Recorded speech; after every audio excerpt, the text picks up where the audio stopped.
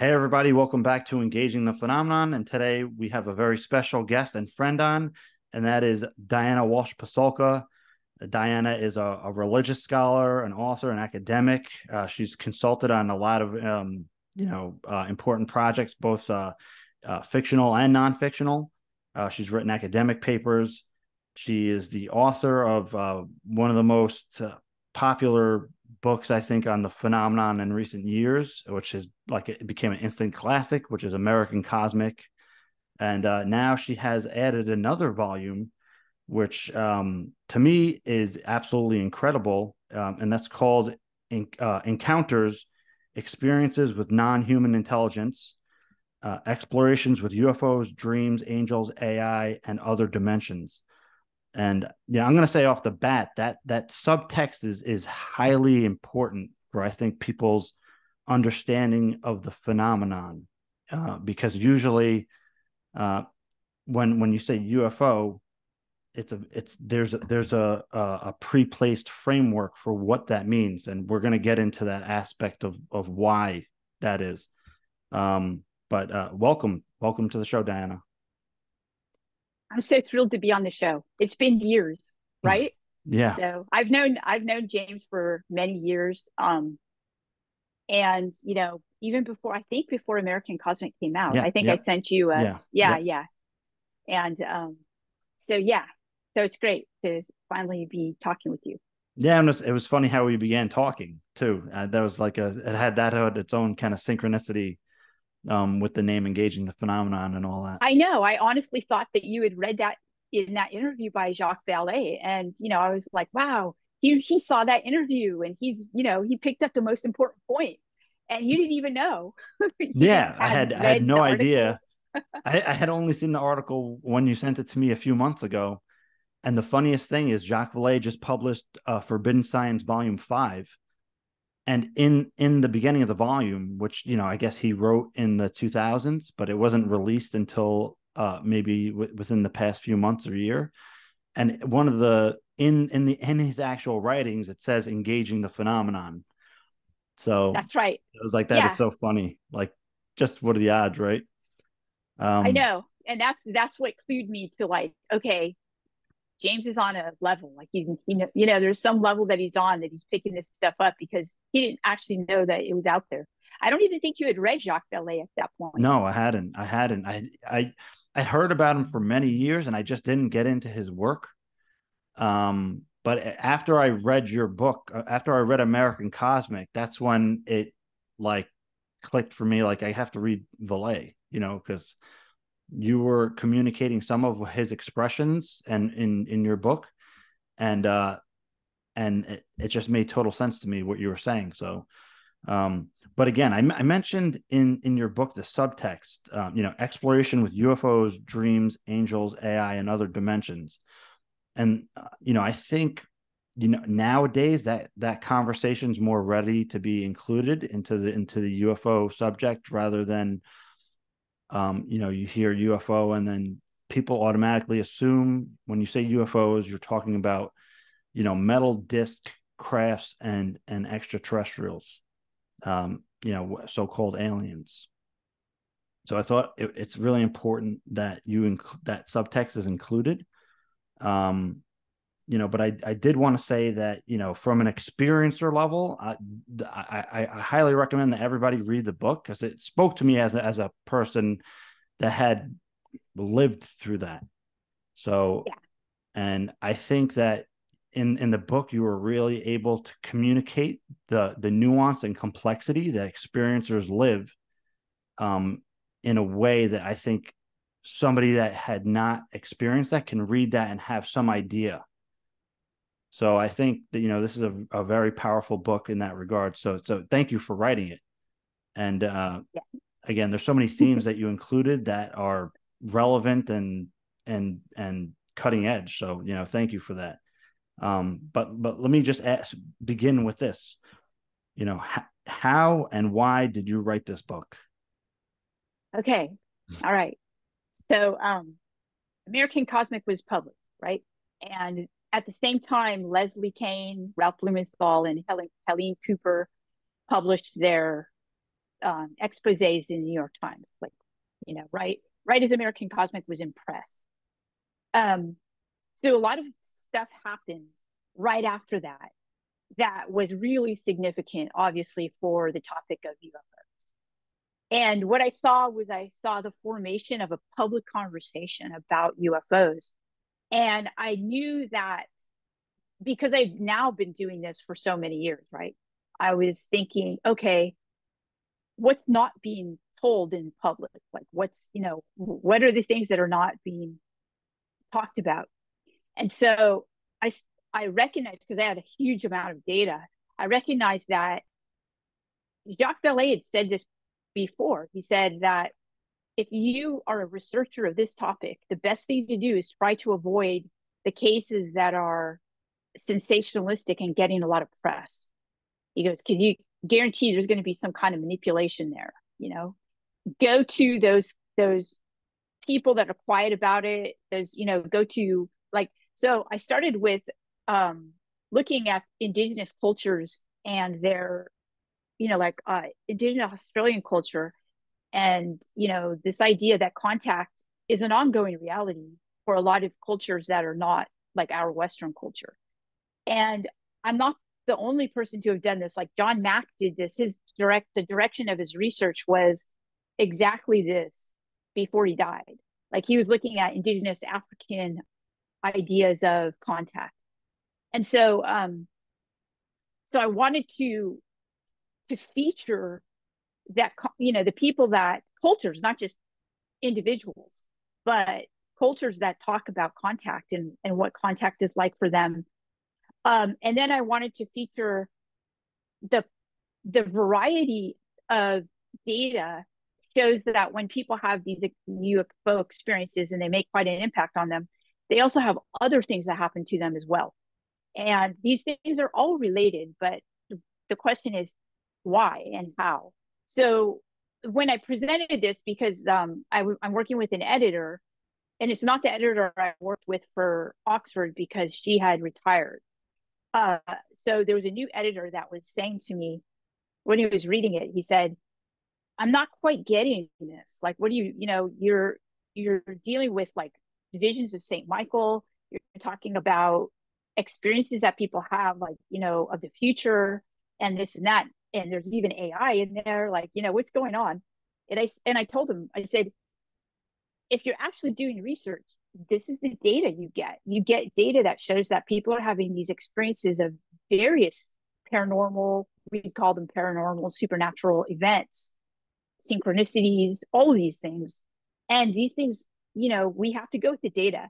And I've learned that a lot that even if it doesn't make sense, like in American Cosmic, there were several times when it just didn't make sense, but I left it in there, like the rubble that I encountered at the crash site in New Mexico uh, my editor at that time wanted me to take it out because she said it really doesn't make sense that you know the explanation that Tyler gave was that the U.S. government had put in a bunch of these cans, like tin cans, and they disintegrated into this rubble over the years uh, to deter people from, you know, using metal detectors to look for this debris.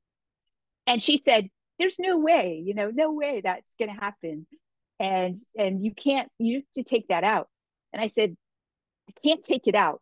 Even if it's not true what he told me, there's a reason why there's a bunch of rubble there. I don't know what the reason is, but it's data and I have to keep it in there. So um, now, with in light of the the crash retrieval programs and things like that, well, now we know why that rubble was there, right? So, um, but we didn't know it then. So that's my suggestion to anybody who's doing this research: is there will be things that don't make sense, and they will be embarrassing to talk about even right? But you do have to keep them in because at some future point we'll get why that date is there.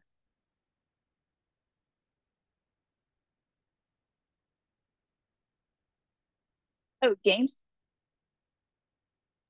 Yeah just because you mentioned the, the the debris in the um in the field there you know one thing you do cover in the book is the the perception management of of um, this topic.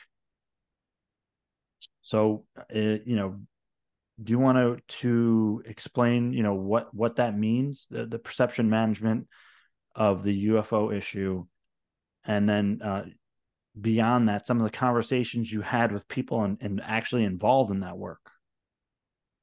Yes. Um, so for those who do just do like six months of work in UFO research, um, they're going to notice that, you know, since the 1940s, the government has been engaged in trying to manage the public perception of UFOs. This is not a conspiracy. this is something that's just fact. Um, we've had Project Blue Book and other projects. Okay. Um, some were classified, some were not classified. Uh, Project Blue Book was not a classified prog- uh, program. However, there were parts of it that were definitely not told to the public. Okay. Um, like the the background information and work with media in order to debunk certain sightings and things like that. We all know that that's the case now. Okay, we know that. Um, the tools of perception management, which were, you know, public media back then, were slow. Today, they're super fast, instantaneous. And so um, this is this is something that we have to keep in mind. So if any academics get into this topic, they actually have to address this. And this is academics do not like to address this part. It's really messy. It's really difficult to um, adjudicate what's being, you know, what you're told and what could be planted information. Um, but if we're going to do it responsibly, we have to do this because this is just the fact. This is just how how it goes. So um, I think that part of American Cosmic for me was kind of a um, uh, Whitley Strieber, I talked to him the other day, and he called it an appall, like an appalled journey through the field of you know UFO reality. And I think it's true because I was as as a normal academic who was doing uncontroversial work, I was appalled at the level of perception management involved, which is part of the you know um, part of the shock was, oh, whoa, you know, this never happened to me when I was doing Catholic history, right? So what happened then um, was that I did a lot more background research and looked at academics who'd studied, say, history of perception management in different communities, not just UFO communities, but in general, uh, history of like CIA and things like that. Um, during that time period, um, somebody asked me the other day on live stream, they said, oh we heard you were taking a break you know from from ufology uh and you know what were you doing and well yeah i was because it was uh really an intense an intense book to write and then to live through the aftermath of it. And i did attract people from all over the world who are interested in this technology uh, for their own governments back engineering it you know that type of thing. So um and I was probably most likely, if we are to be honest, a target for people who wanted to utilize me as an interfacer with the public to either plant information that they wanted to get out or to use me as what's called a flypaper um, to attract, you know, so here I am. A lot of people are coming to me wanting to work with me and do this kind of thing. And so, you know, I'm being, you know, my communications are being monitored so that, you know, people in United States intelligence or whatnot can see, you know, who's interested in this. You know that okay, that they might be bad actors who are interested in. It. So this all makes sense. This isn't something, um, you know, this isn't something that we could not expect. I mean, it's been going on. So what happened then was that I did meet people who were engaged in the public perception and managing. And um, and it was a strange experience for me. How, I mean, what was the vibe you got from those people? Uh, and like, did they seem nefarious, or did they were you know what what what was their read? What was your read on them? If if you if you don't mind sharing. Yeah, um, I have a chapter in the book, chapter eight, uh, "The Children of the Invisibles," where I talk about my interface with the communities. And I actually knew some people who were children of the people in these programs. Um, one was a friend of mine, pre UFO even. Um, her name is Patty Teresi, um, and she was a philosopher. Um, she retired since since this, Um, but anyway, so I actually never understood her childhood ever. Um, and I don't think she did either until I actually started to write American Cosmic and I learned about the people who were involved in these programs um, because their lives are really constrained. And so I recognized then once I started to do that and I introduced her to some of the people and she started to recognize that her childhood was not a normal childhood. She already knew that, um, but she didn't know how. And so I was able to to utilize her story because she agreed to interview um, in order to bring light to you know the presence of people like this. So you asked me a, a good question: What is their vibe? Right? I found them to be extraordinarily intelligent. Um, I found them to be have extreme powers of perception, right? Um, they they were extremely educated, okay, and they were also they had lives of quiet. They lived in these. They lived quiet lives. Like they they didn't you know they didn't want to cause attention to themselves at all. You know, um, and and um, I enjoyed I enjoyed talking to them because they were interesting. Obviously, they had a lot of history like that goes back to the United States even. And um and so I learned a lot and I was I would say I was tempted to um to just leave everything behind, leave my research behind, you know, and kind of, you know, go into a life like this because it seemed pretty affiliated and in um it was complementary to how I actually live as a professor. As a professor, generally people who are professors choose a lifestyle like this because they are introverted. Um, they like to observe things, you know, on the sidelines. They don't like to have a lot of attention, you know, that kind of thing. And this was, you know, an attractive lifestyle.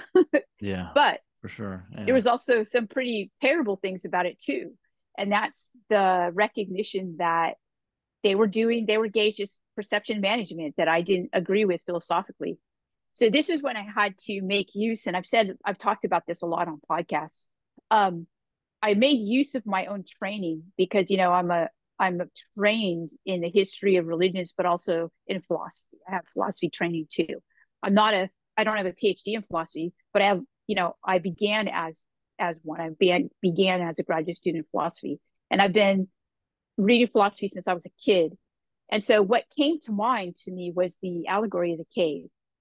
You know, because in that in the allegory of the cave, which is uh, which is an allegory that Plato puts into a book that he writes about justice, basically, and um, you know, can't we have a just society? It's called Plato's Republic. Um, honestly, never I understood at a very basic level what that allegory was about. It's about, you know, it's kind of like a ma- the Matrix u- utilizes it as a template.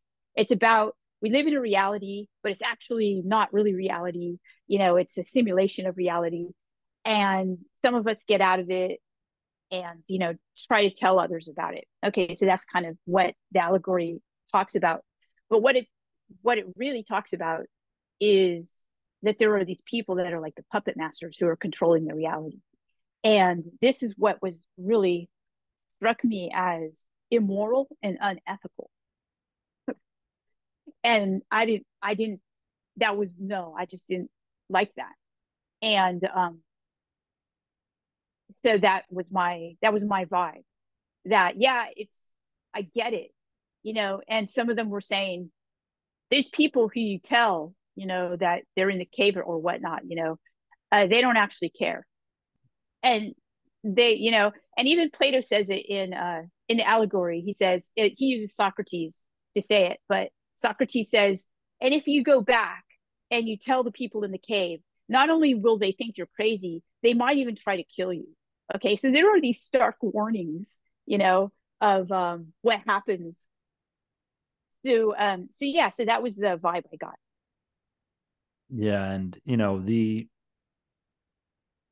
you know you, you talked a little bit of before in a sense, but I th- I think the the the biggest the biggest um, conflict with the you know that waking people up to to the cave anal- um, allegory is not you know in this regard i don't think it's the non-human intelligence thing that's like why so explosive. I think the biggest deterrence for people to be open to this information is to have the realization that they've been misled intentionally yes and it gets that is it. to that mark twain quote um I, I forget the exact quote but it's it's it's always stuck with me is like nobody wants to believe that they've been fooled. That's the essence of the quote. You know, it's yeah. it's harder to convince somebody that they that uh, they've been duped. Uh, this is the biggest challenge because that, you know, again, even with with your background, religious right religions, people's belief systems, you know, even in Western cultures, uh, include even even if people sometimes don't take it literally, even though some some people do. Um, angels and you know other non-human intelligence so that's like it's within our our belief systems but when you get to the realization that you've been intentionally misled by your institutions then you then at that point it's like a, it's a breakdown in in in your belief structure of who what what you're supposed to believe because then you have to rewrite everything like what you have to it yep. can make you completely paranoid and distrustful and you can go through a whole period of a, a downward spiral um which which again is it could uh, it, it's a you know you lose i guess you could say you people w- would lose their trust in institution coming to that realization. Um but if i know, can i say something about that? Yeah. I absolutely okay so absolutely. Um I've been, you know, I'm a professor, so I interface a lot with people in their young, you know, young people in their 20s, um, even teenagers, and I have teenagers. And I have a lot, as a mom, okay, I have a lot of care for what's happening right now.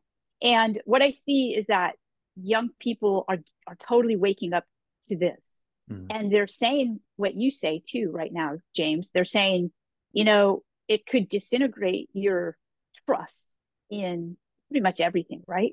Um, but I'd like to say this, and I feel thankful that I started to study this when I was really young, because now I can say to people and young people in particular, wait, people have figured it out. And we actually have some some books that can help us, right? We have people like, you know, Socrates was killed by his government for doing this, for basically waking people up. And the government was Athens, and they accused Socrates of being an atheist of all strange things. I mean, he was telling them about the mystical good, you know, that it actually exists and things like that. So, you know, and he they told him he was corrupting the youth. So they sentenced him to death. Now, Plato was his student, saw this, and was horrified by it. And thus he wrote Plato's Republic and put the allegory of the cave in there to tell us that this is the structure of almost all societies.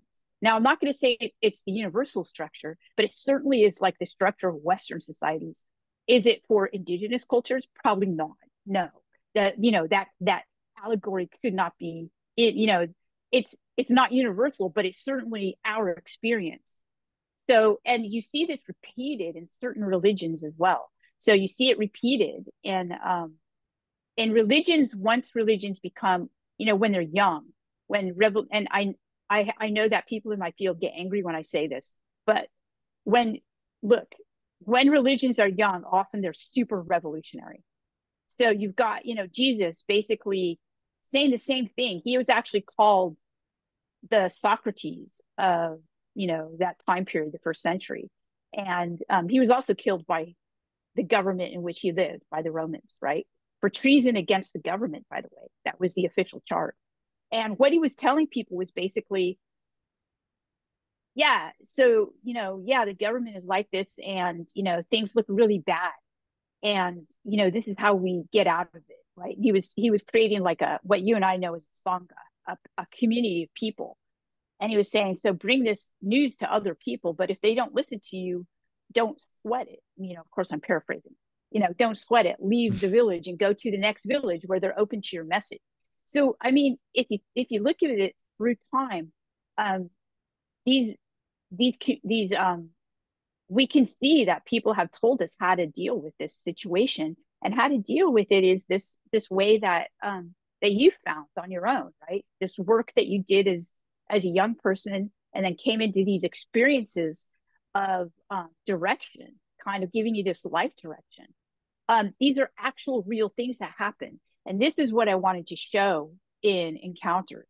I wanted to have person after person after person show, you know, as not telling you, but actually showing it through their life choices um, and their own experiences that they found this way.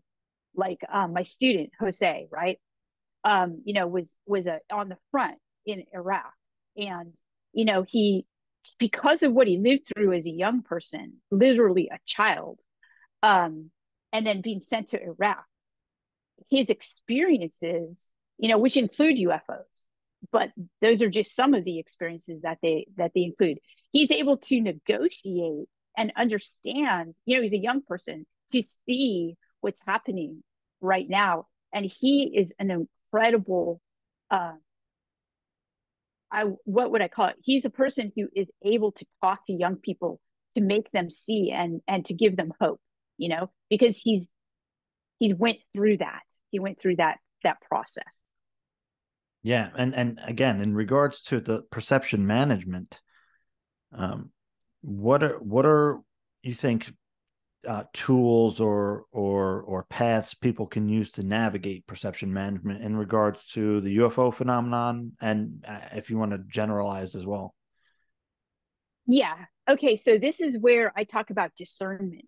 Okay. So discernment is a term used in the Christian Catholic religion. Orthodox use it, and it's this this idea that you actually do have a connection to knowledge, like a spiritual knowledge, but it has to be trained. This is a this is a process called discernment. Okay, where you discern, you know, what's going on here. Um, is this a good act for me to do or a bad act? You know, what kinds of things will happen from it? But basically, it's more of a an idea of a Gnostic knowledge. Um, and when I when I call it Gnostic, I'm not referring to some of the traditions in the first century or second century before the common era of um, where you know there's like a dualist framework of good and evil. I'm not referring to those traditions. I'm referring to the actual word gnostic knowledge uh, which is redundant. But it's a greek word that means um, a special type of knowledge. And it's a special type of knowledge that i i discuss with my students. I tell them when we talk about what what is gnosticism?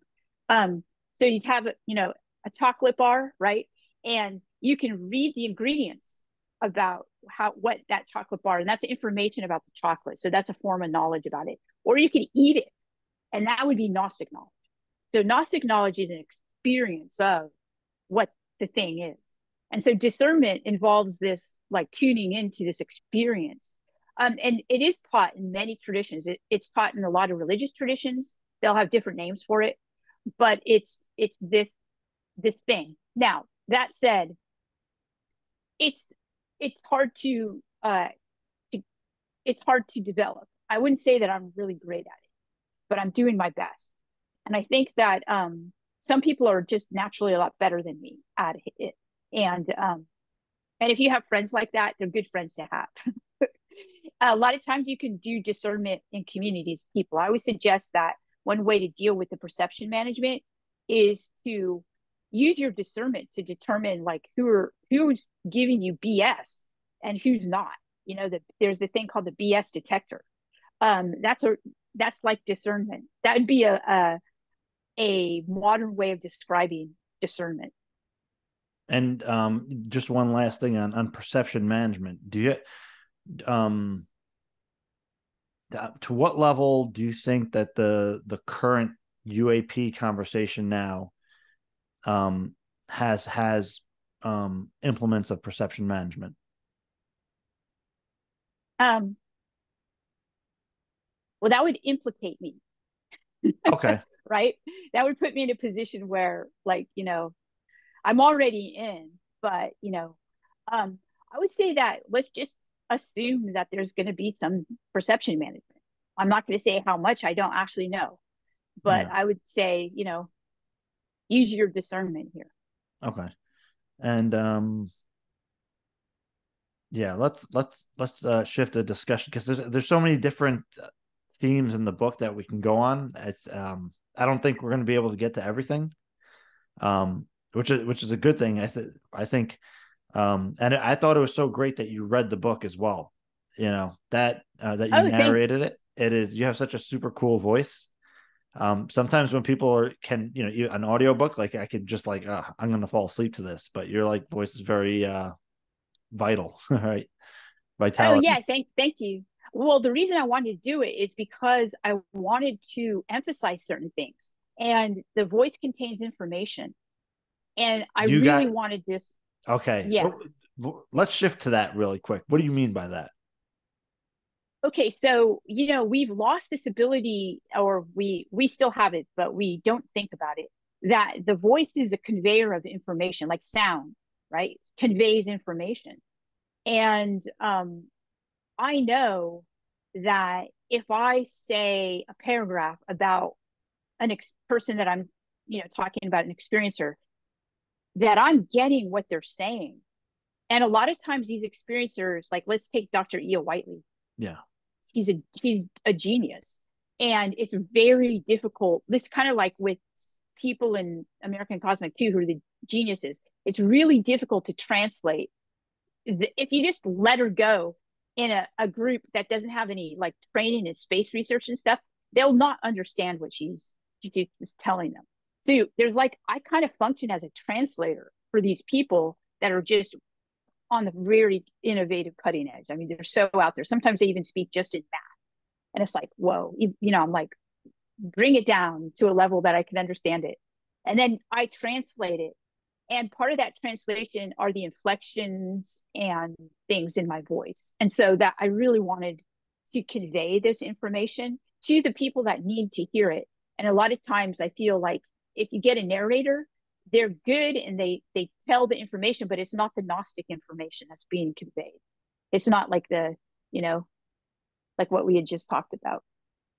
Yeah because then you even got into that in the book a little bit um it, it, I, I, I believe it's called cryptography or yes yeah.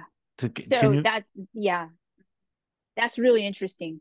So again it's not just so we think of cryptography in terms of the types of you know like um code yeah. okay? All right well it makes sense okay? You need certain code in order to fit where this code where it needs to go in order for the system to work like algorithmically or whatnot. But we don't tend to think of our voices like code and we don't tend to think of even our characters like code.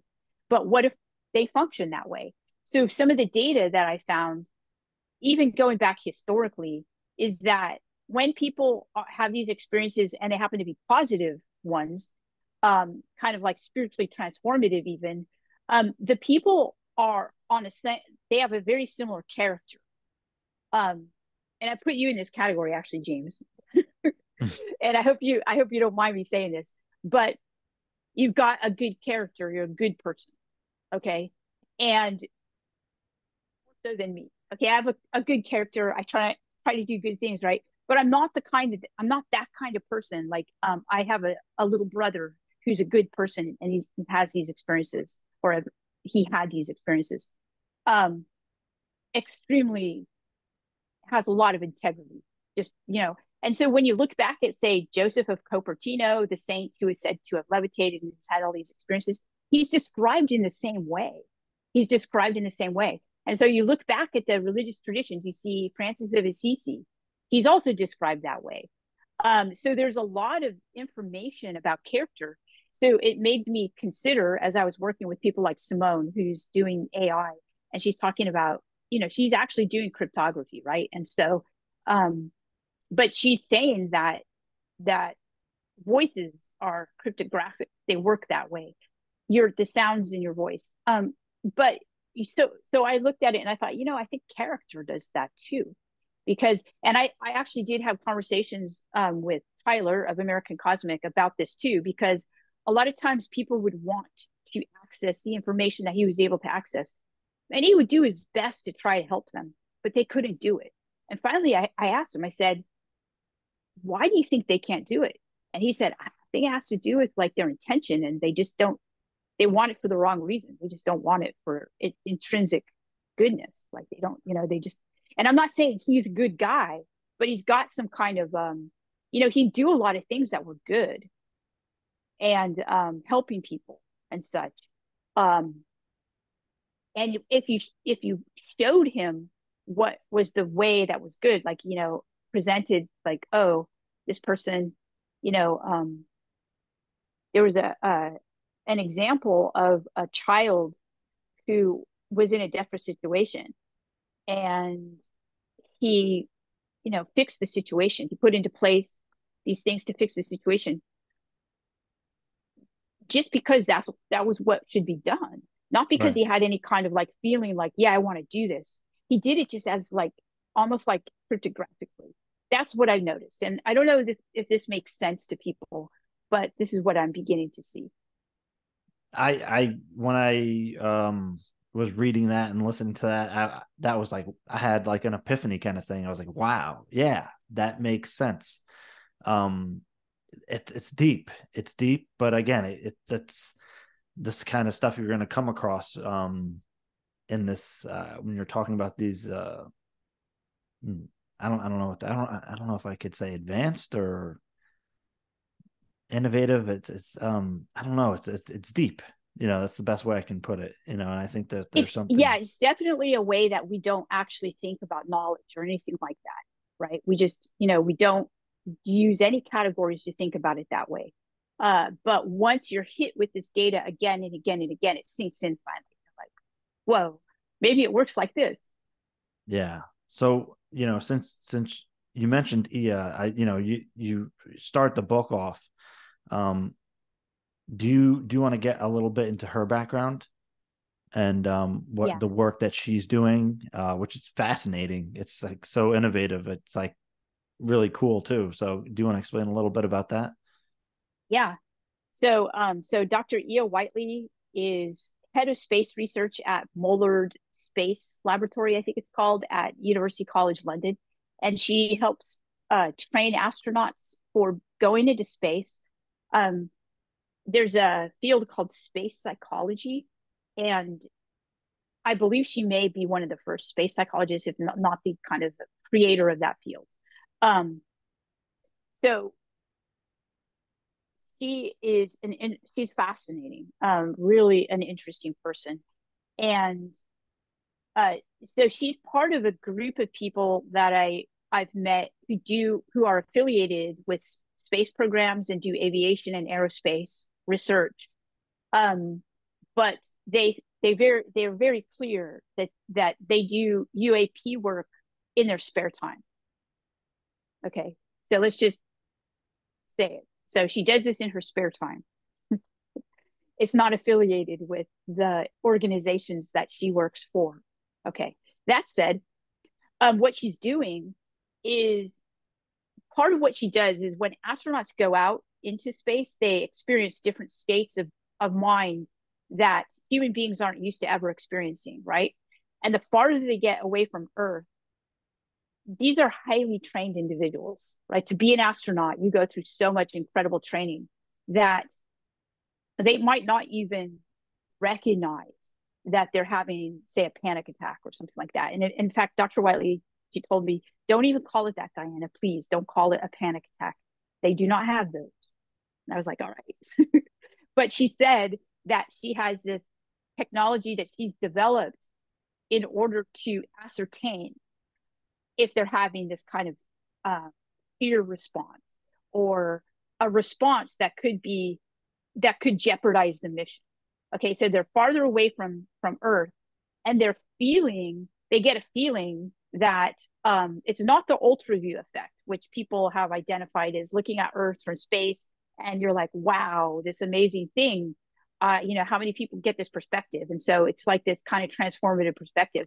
But no, they're not having that. They're having like something that is is they're experiencing that that one of the astronauts said, It's like my body is a sensing instrument for all of humanity. And now it's out here. And I feel really vulnerable, you know? And so this is so she has technology that then identifies if, you know, and then they put into place ways to help them while they're in space. As she's doing this, she's utilizing that technology for her spare time research, which is basically hammering out um, uh, a way, a very practical and operational way to understand languages that we've not, or at least our culture hasn't been able to understand, like um, what she calls earth languages. So these could be, you know, the language of dolphins, whales, um, you know, uh, even certain kinds of plants and things like that. And she said there's uh, what she does is she uses the technology to then um, translate these patterns, which she calls our languages, into um, audio and graphemes, like the these graphemes. And she says that if we can share this language with babies, because the babies' brains are making neural, you know, they're uh, creating networks uh, up till about six months or nine just, months. She said Oh, go ahead. What is what is a grapheme? Okay, so the grapheme is going to look like um, it's a physical code. It's um, it's a pictorial image, kind of like a hieroglyph of the sound, right? And it has information in it, and um, and it's beautiful, by the way. It looks kind of like each one looks kind of like a snowflake. So yeah. for each sound, these are really beautiful. Um, you know, it has a structure that makes sense, but you wouldn't, you and I wouldn't know it, but she explains why and how it makes sense. So she's basically, um, now her, her goal is to allow humans is to create, um, to foster young people that can be more accessible to um, non-human intelligences that you know we can then you know if we can learn to speak with our own environment right in ways that we had we didn't have before um, that will help us uh, in the future to be uh, well she thinks it's going to help the planet like people right um, just communicate with each other in a less aggressive way but also we're going to understand and I know a lot of scientists are actually working on this right now, is using AI to kind of crack the code of like whale languages and, and things like that. I mean, we're really at truly an interesting time in our history, humans. Yeah, and um, you know the the dolphin and whale thing too is um is is I thought really interesting. Um, you know, because you know, kind of like a side note into the the contact aspect. I know people that were had been experiencers that had I guess you can say experimented or that you know they've done expeditions where they're they're trying to do communication with um with dolphins you know I guess non-human intelligence through contact modalities. Yes. Yeah. So yeah. I thought that was interesting. Um but and she I, by the way she she's the person who who practices what she preaches. She is a uh, an award-winning skydiver uh, she puts herself into extreme spaces. Uh, she swims with dolphins uh, regularly and attempts communication with them. Um, she actually does what she, she's not one of these researchers that kind of sit in their office and do this. No, she's like out there and the, doing it. How does how does she attempt to do the communication with the dolphins? She swims with them. Yeah. And the funny again, the funny thing is, I know of experiencers who have done that work, and and people in the intelligence community. So, right, go figure. Uh, so yeah, it's really interesting. Um, and you know, I, I yeah, there's there's so much from the book I wanted to get to. The the idea of of uh, the UFO or UFOs as a hyper object Yeah, yeah. so can you can you explain what yeah. what that means? Yeah. So okay, so a hyper object is an I okay, so it's an object that either in our own dimension, if it's a 3D object, it's so large, like Jupiter or something like that, that's so giant that when we look at it, we can't see it in its totality, right? So we can't, it's um so in a sense it it exceeds our conceptions, right? Because it's so giant, or it's a virtual object that is that we're able to identify through well today uh, through computer modeling you know know that these kinds of objects exist like uh, what we call like fourth dimensional objects and things like that and um, so in in terms of um, using that category this is a category that's now um, people are utilizing uh, like Dr. Jim Madden is, is just wrote a book about uh, the UFO as a hyperobject. And I believe that other people have, have discussed this too. Um, but I know I, I do in, in this book. Um, so, so this is a category for, first off, where we're at as, you know, where we've come in terms of like, we've, we're now off the planet. We're into space where we're going to be engaged with, you know, things that are just enormous, like space itself just conceptually uh, difficult for us to to put our you know put our brains around um, and then virtually going into spaces where you know virtual spaces. So we're in these two different spaces where we've never been before at the same time by the way. And so um so i'm talking about this in terms of what does this mean for for us kind of like as a as a species right? Uh, if you think about it, when when we have different technologies, like in the creation of the printing press and the book and things like that, it actually changed the ways in which we thought of ourselves as human beings. Like, um, and uh, this guy named Walter Benjamin, who is a philosopher um, of the 20 early 20th century, he actually does does talk about this, and and and he's right. So he says, you know, now we have this thing back in the day called the telescope where we're able to look up into space. Whereas before it was a communal tribal experience when you look up into space and you see the beautiful stars and it's an ecstatic experience with your tribe and community, your family. He goes, now it's this solitary experience, right? Like the book was that way too. Whereas you, you know, you had experienced knowledge as this oral tradition passed down through grandparents and parents and things like that. Now all of a sudden you have this thing that's a book you can't actually read a book as a community right unless you all read it you're having a solitary experience with this knowledge right so um so we're in this new phase i don't know how what's going to happen to i mean i'm not i'm not going to pretend that i can project and say how it's going to impact us i can only say that here we are and these people that i'm i'm interviewing in this book they're they've been thinking about it too they've already been on the other side and this is what they have to say about this. And what they have to say, I mean, a lot of them are incredibly hopeful. Some of them are not, but a lot of them are hopeful. And they see this as a time of knowledge expansion for people who, you know, that who, uh, let's take Simone. Um, Simone is an innovator in AI. She's like, you know, uh, been doing that for a long time.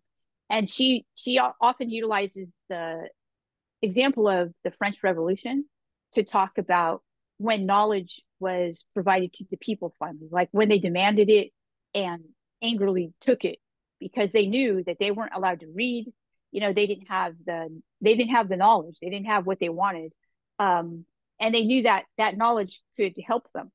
So Simone says that there's a lot of doomer narrative about AI that she says we shouldn't have that, especially those of us of the 99% because the bankers have been u- utilizing AI um, to create trillions and trillions of dollars uh, for their communities. And we don't have that information, and we're finally getting it.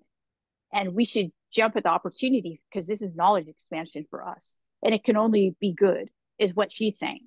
Okay. Um, so yeah, so so what I'm trying to do, like I said, I'm not making any projections about what's happening. I'm just saying we're here and these are what some of the most innovative people have to say about it yeah and uh, you know just just um a kind of little side riff in in regards to ai um and and i know you know we're talking about ufos but you have ai and then you have the idea of um transhumanism right? Um, is kind of part of that conversation.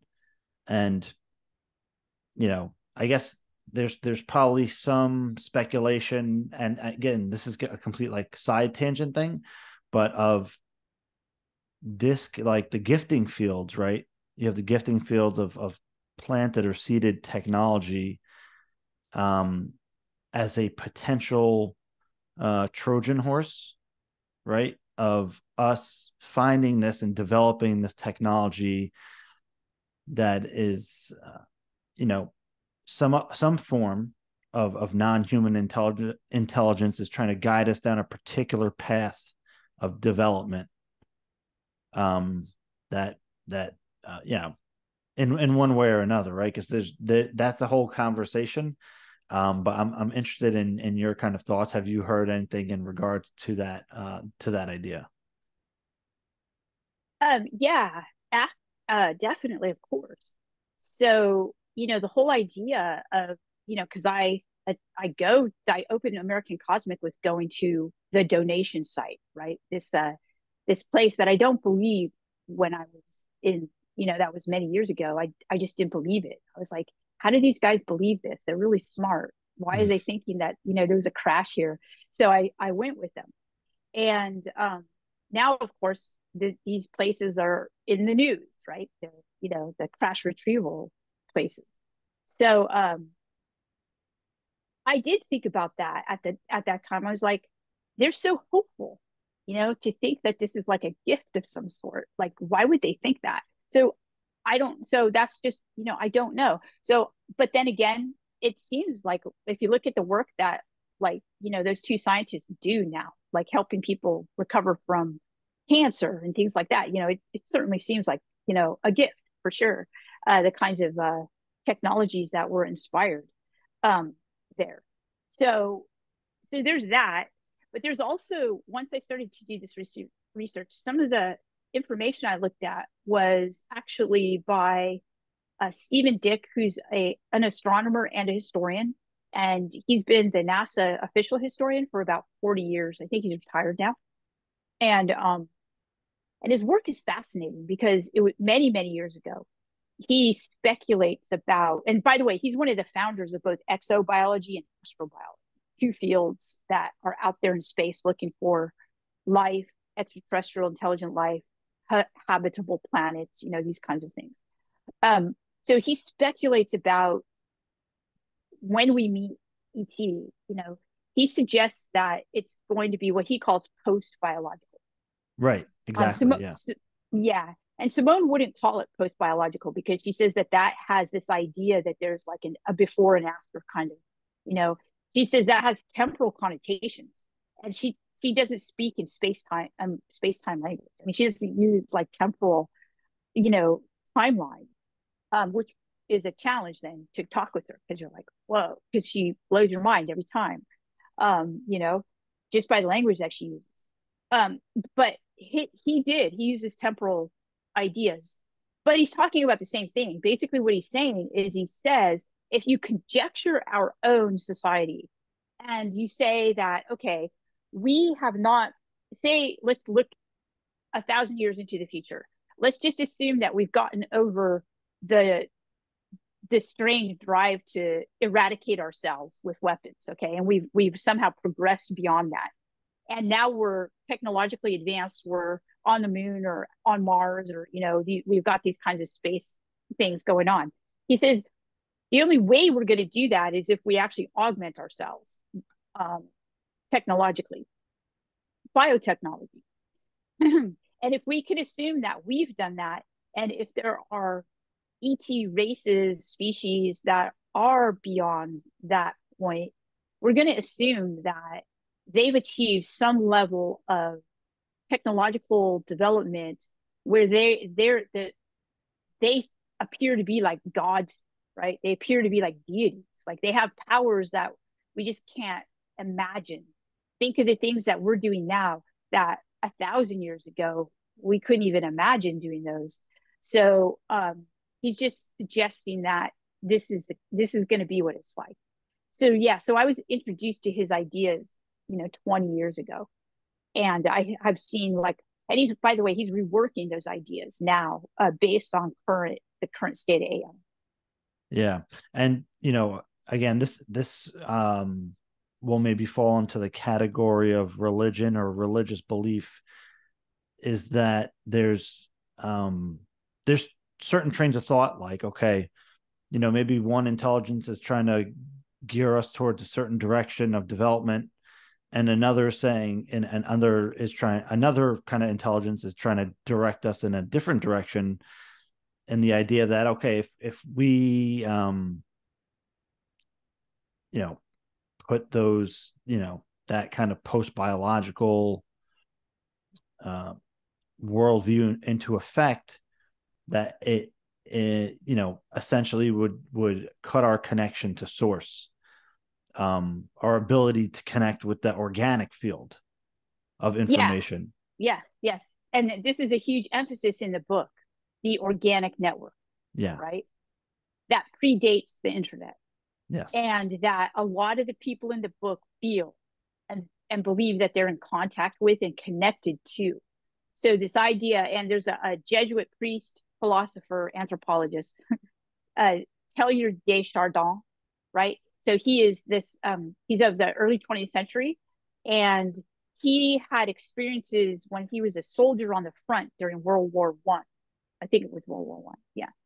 And so he went into an like almost like a, a, a transcendent state where he saw what was coming, and he said, "Ah, I I know he called it the noosphere, right? Yeah. Like the sphere of knowledge. And he said that it's here already.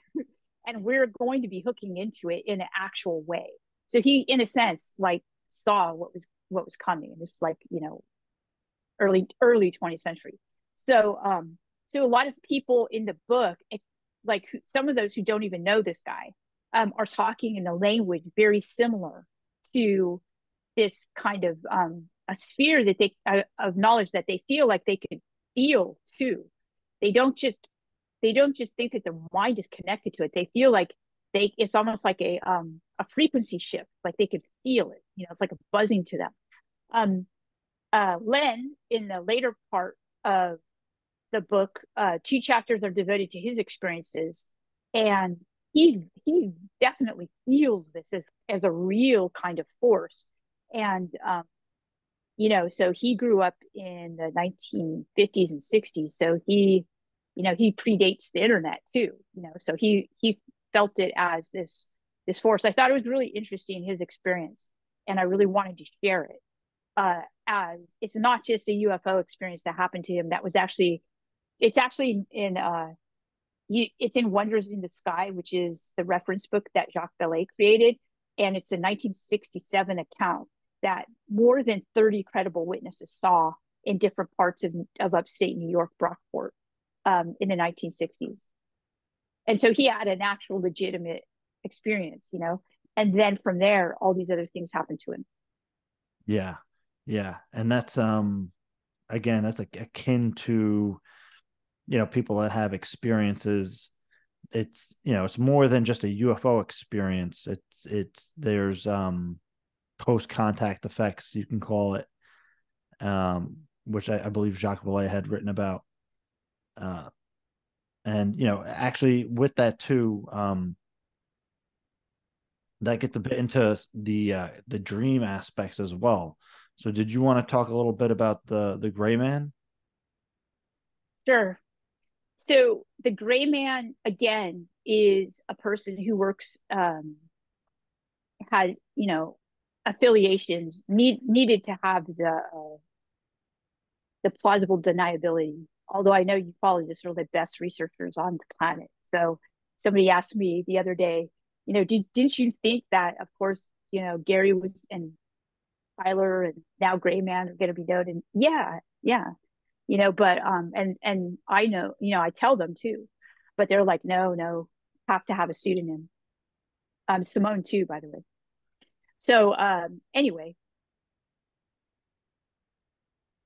so he so what's fascinating, not just about him, but also about Jose and also about Len, is that they're having dreams, and they're they don't call them dreams, right? So we would call them dreams because we only have in our lexicon, in our like way of discussing these things, we talk about, oh, I had a dream. It was either a good dream or a nightmare, and I have waking life, right? So there's no variation of dreams. Whereas if you go to some cultures like Tibet, there's like a Tibetan uh, Buddhist uh, community that actually has dream like uh, dream experiences that they then codify into different types of dreams. They say, okay, yeah. well, this was this type of dream, that type of dream. We don't have that language. So when people have these kinds of dreams in our culture, they don't know what to make of them. They just say this. They say, that dream was not a dream. Like but they know that it was an altered state of consciousness. Yeah. So what we're talking about here is people are having altered states of consciousness. They don't know if they're waking or they're dreaming, but it's very real to them. And sometimes they get information like precognitive information and that they can then verify, right?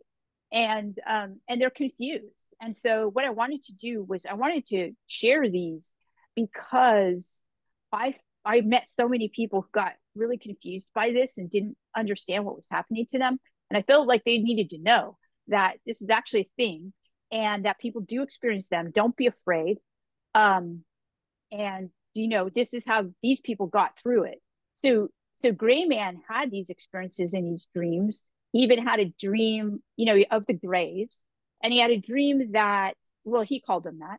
He said that, you know, he and um, he has um, you know some kids that require um, help right extra help you know getting dressed and that kind of thing and so he said that one night they both woke up and their clothes were on not just backwards but they were button up clothes and and inside out. And he he didn't put them on that way. And the child wouldn't have been able to do it anyway wouldn't have been able to take it off or put it back on. So, um, so you know, this is not a typical dream, okay? And um, this is where I did some um, research into the uh, the dream time. Uh, we call it the dream time, but in Australia, it's a it's a really amazing worldview that they have, and they actually the dream time provided so much information to me about other cultural ways of looking at dreams when dreams are weird like that for us. We say they're weird, but in these cultures, this is a normal dream.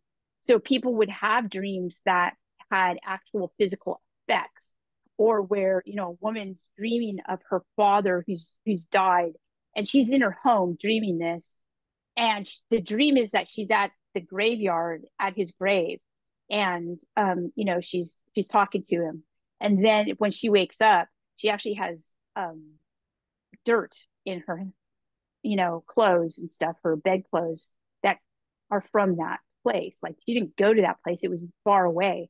So, you know, these kinds of things we wonder how, it, that's impossible. These things are impossible. Yet these people are having these experiences.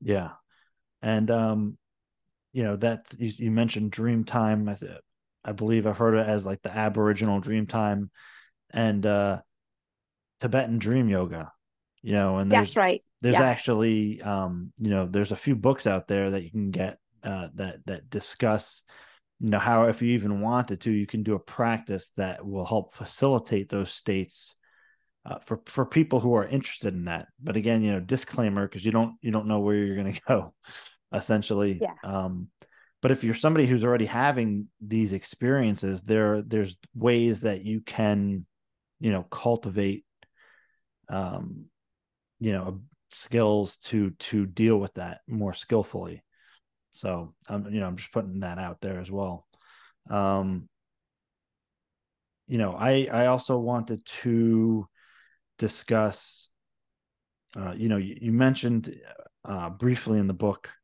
you know hermeneutics so uh, i want the idea of her- hermeneutics in, with within the the context of ufos yeah. So hermeneutics is uh, interpretation. So, may tell me which specific part, and I'll I'll talk about it. Well, in a general sense, like how can that be applied to um, the UFO experience? Yeah. Okay. Good. So, in the field, not just of religious studies, but in a lot of academic fields, um, we we have like systematic ways of doing interpretation of things. Um, I use this these ways of interpreting angel contact events before I even thought of UFOs. And so um, part of that is the process of of looking at what you call like the original sources of things. Um, because you know, by the time like say angel events get to us, and by the way, I have to tell you that it is challenging to talk not just about UFOs, but also religion. For the fact that not only do people have preconceived notions of UFOs, they completely have preconceived notions of angels and things like that. So I have to be the bad guy. And I have to say, you know, especially if they've had like a really um, conservative background and they believe that, you know, contact events with the angels have always been such a wonderful transcendent experience. And then they tell them that, wow, it's actually terrifying. And sometimes these angels like hurt people and things like that. And they're like, whoa, what? You know, I'm blasphemous. So I have to be the bringer of this bad news. So um, so what do we do when we look at these these events? Um, we're not just looking at what we've accepted, like you know, especially if you're looking at art of angel events. Uh, they look so good, they look so pretty, right? And then when you scratch the surface and you actually read the primary source, that's usually in some really you know old language. You have to find a person who can translate it if you can't, and then you have to get different people to do it so you can get you know different takes on because the translation is not a perfect uh, type of thing. This is a hermeneutical problem too, a problem of interpretation. You know, I'll translate it one way, another person will translate it another way. So it's better to have as many translations as possible to compare them. And then you can kind of get to, well, this person was terrified and they received wounds from this angel that dealt with them harshly. And I'm talking about a really famous angel contact event that almost everybody who's Christian knows about. Um, and you could you know google it and there it is and it looks really kind of cool but it it, it wasn't cool for that person. Um all right so that said there are other ways of getting information and this is what i learned when i was doing my research into purgatory because a lot of the research i did was in was for in was irish stuff right? Um and ireland is a country that had been colonized by england and so a lot of their history had been forcibly almost intentional well intentionally eradicated right? So how do you then go back and and look at a tradition that's that's been under this stress? Um we have to look at folklore and you have to look at oral tradition and you have to look at you know stories that are passed down in songs from that time period and things like that. Like i learned so much from my dad and my grandparents who had an irish background and you know my great grandparents literally came here from Ireland or uh, one of them. I what I knew certain things about the country and about the history that nobody else would know who wasn't Irish because they didn't inherit those songs. They didn't inherit that, you know, those those traditions. So it's those types of sources that people have to pay attention to, especially when they do ufology, because at one point a lot of the classified data, and I'm not suggesting anybody be you know want to be privy to classified data. But we're talking about just basic history of like 40 years ago or or you know um that would that was destroyed. And it was it was carried into the present through people. So there's an oral tradition of ufos of our country and not just our country there's an oral tradition of ufos that gets passed down that people can't find. You know they always want to get these documents that are then fully redacted, right? And you right. can't read them because it, but did you know that there's actually people that have all that information? So, you know, there's an oral tradition. And that's what I think, uh, um, like people in my field would see it, or anthropologists that do field research. They're like, you've got to be in those communities in order to get that information. And when, or when lucky. You, when you say that, you, um, you mean they're being read into a program and they're being given the oral history um, of of you know what? Uh, yeah, yeah. So they're read yeah. into a program. Yeah. So like so we're uh, always looking for the documents. You know, like I had a lot of like wealthy people want to reverse engineer this stuff, and they're like, "Where's the documents?" And I'm like, "There are only communities of people. Like you know, it's you're either in that community of people or you're or you're not." And they're not going to share with you unless you have unless you're like reddit you know unless you get Um, and by the way, some of them are some of these communities are like it goes through family lines too. Uh, not all, but that's certainly what I found. Like within, you know, that you can see that in chapter eight of the book that there are families of people that, like, you know, it's very similar to like I was talking about my Irish roots connection. It's very similar to inheriting these oral traditions of a, a long thousand year old, more than that history. And that's something that sometimes can only be imparted through um, communities of families, really. Yeah, and I guess that, that gets into some of the the legacy programs. I think so. I mean, I didn't know that language legacy program until, of course, the last two years when it's been talked about.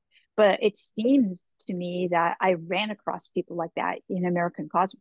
You know, there's there's crash retrieval going on, there's reverse engineering going on, there's people that are associated with programs, you know, you could call them legacy programs. They seem yeah. to be going on for a long time. Legacy.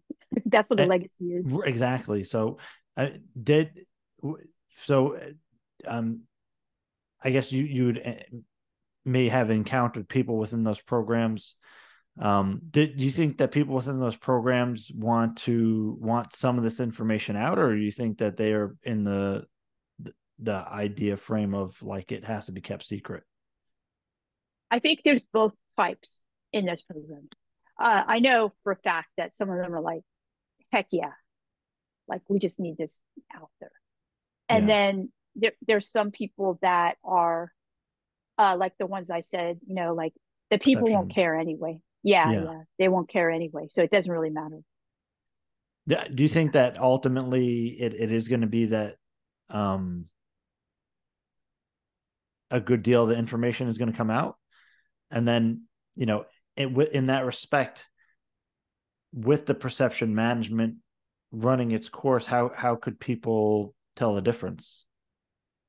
Yeah, that's exactly it. So, right. I mean, it's so well orchestrated right? there's okay but let me let me suggest this that the reason there's more transparency now is because there has to be all right, right. because there's going to be anyway and when i say that what i'm referring to is that for the 20th century right uh you know really actually the 20th century because before the 40s there were rocket labs and things like that right so okay um during this time period it was us and russia and we had the viable space programs. We were the, we were the ones that were able to get out into space off planet. So we were together in this, right? And we were aligned. And when I spoke to people from, you know, these programs, Russia programs and people from the American programs, they said, "Oh yeah, you know, we have there's politics on the ground, you know, where but when we're in space, we're together, right? Well now you have other countries in space. You have china going into space. So you know you have a lot of things that are in space that are going to be looked at discovered. Um, so it's a lot the uh, it's more information is way more permeable. So there has to be the more transparency. Just has to be right now because you know they've got to come clean now right? Not not entirely but at least with you know because you know what happens if china sees some things and, and says to their people well you know this is the case. And here in the united states we're going to say wait a minute. Yeah yeah. And i i don't know if i heard you mention it before or some or somebody else or i had read about it on online is that like th- there's even ai technologies that are able to decode um redacted documents and and whatnot that's are, right. are going yeah. to be able to. Yeah. That's right. So i think i think i made you take a course of mine. Sometimes i just put people into my courses. Um my that ufo course uh from like two years ago or something like that. Um and if you didn't know you were in the course. So um and i talk about redaction in that course.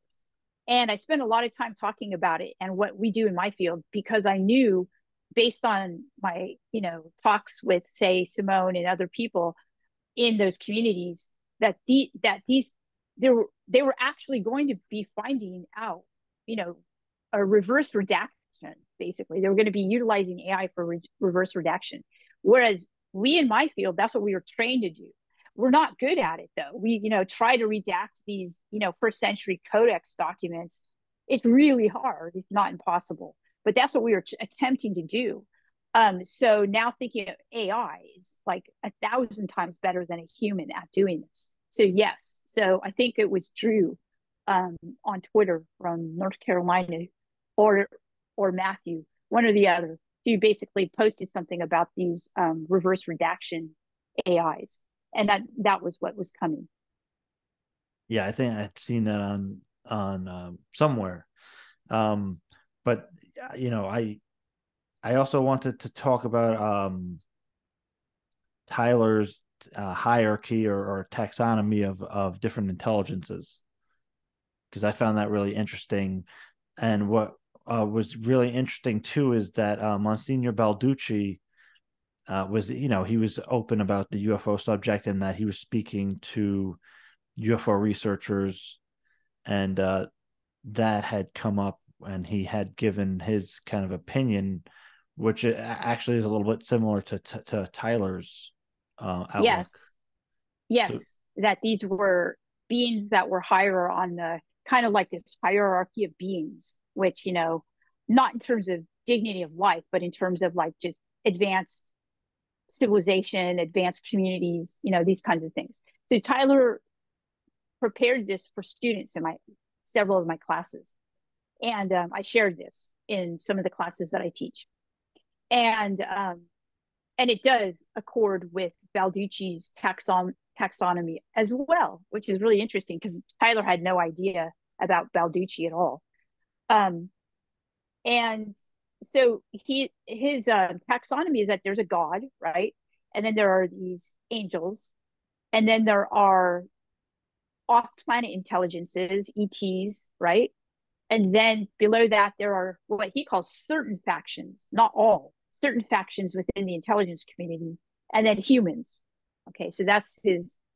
I think I got it right. That's his taxonomy his yeah. pyramid of being. Why does he put the in the intelligence community above, like in between? yeah, that's what I wanted to know. Um, I was like, wait a minute. Um, I think because he believes it. I think that he thinks that they're. Um, I mean, I'm only. Since there are a lot of things that when I look back, I wish I could a- have asked him. Yeah. I think I was in so much shock at the time of just learning all this information that I, some of those questions that it just didn't occur to me but you'd think that that would be one right because i mean i remembered looking at it but then i also knew that just based on his life that of course he's going to think that way because his life is just not like everyone else's life. And the people that he you know engages with they're live they're also not you know like normal people. And to me it made sense at the time. But when i look back on it i'm thinking wow, when, especially when I'm looking back and I'm writing encounters, I'm actually, I resuscitated a lot of those PowerPoint presentations that he created. And I went back and I was blown away at the things he told me because it was only in light of what's happening now in Congress that I was like, oh my God, like this, he was telling me pretty much everything back then. And I wasn't processing it all at once because I think that it was a defense mechanism you know, and I was like, I was doing the best I could, but um, but he was telling me that you know they're going to become us through technology and things like that. And I'm like, what does that even mean? And it doesn't sound good, you know, and and that kind of thing. So these are the kinds of things I wish I could ask him now. Yeah, yeah. Um, and uh, you know, I thought I think it was brought up one time um that uh you said something along the lines of in, intuition is the filter for truth. Can you expand on that a little bit? Yeah. So um, there's a famous poet, Robinson Jeffers, from the like 1940s, 50s, and 60s. And his poetry is really amazing. Um, he lived in um, California on the coast. And he was uh, he he liked to talk uh, do poetry about like a lot of different things. But he's the one that basically clued me in. Now I, I learned about him when I was in college. So, you know, I'm in my, I'm 20. reading this. And one of the things, one of his one line from one of his poems, which I can't remember which poem it is, um, but it basically is that if you catch intuition fresh, it will provide you with like truth, right? But once you start to give it some thought and to to overthink it, basically, it loses its ability to tell you. So I think he's talking about precognition.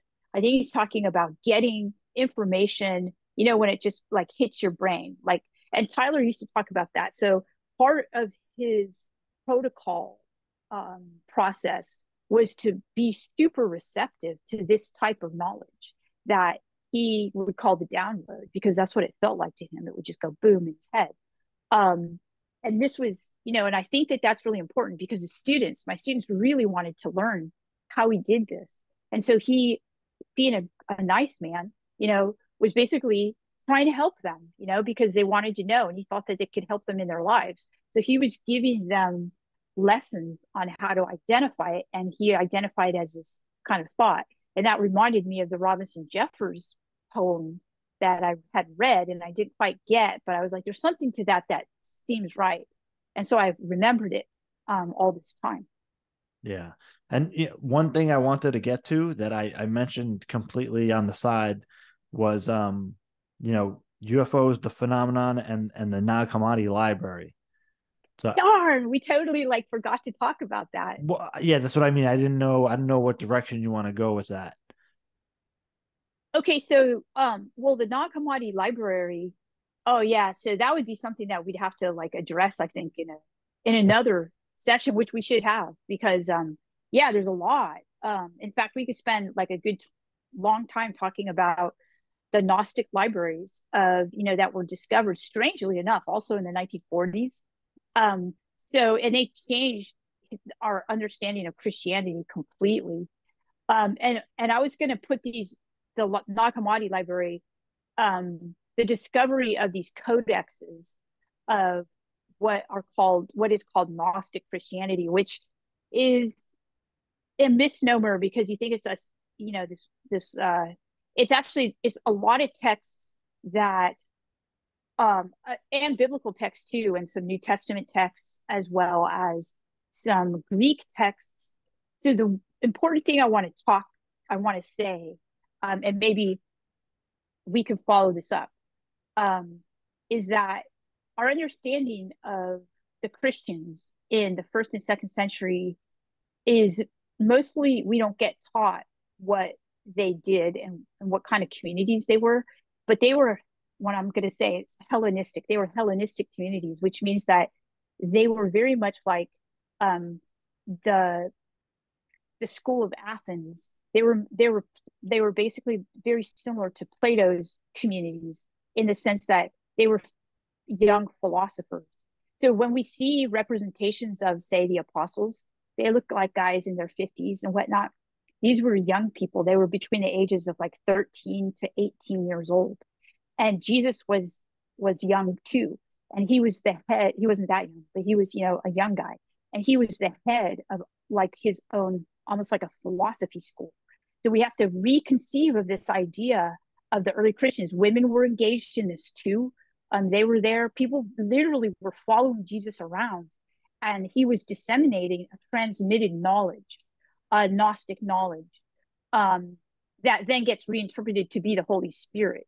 Okay, this idea of this Holy Spirit, right? What is this? You know, and so um, when we discovered, uh, we didn't discover it, but um, when the world discovered these libraries, not just at uh, the Qumran Library and the Nag Hammadi Library in Egypt, these libraries that had um, that were the, texts that were the bases of this um, these communities of, of Christians that lived out apart from um, society.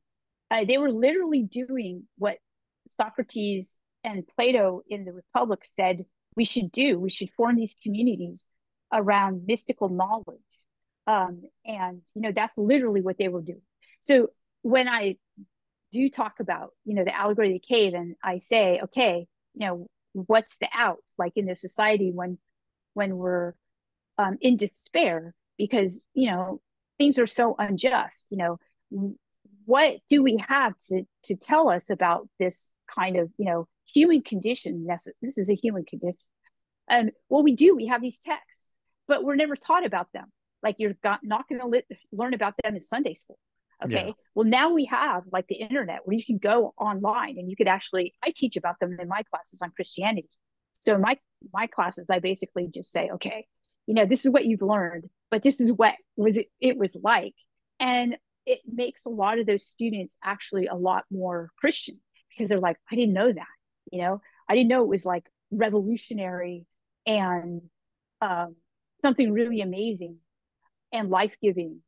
And yeah and there's a reason why rome killed jesus because you know he was providing a, a, a better form of life a new way to live um, which you know sadly does happen to people um, who are providing this right? So so yes so that's my basic um, intro but then you could go through the different texts and then talk about you know gnosticism.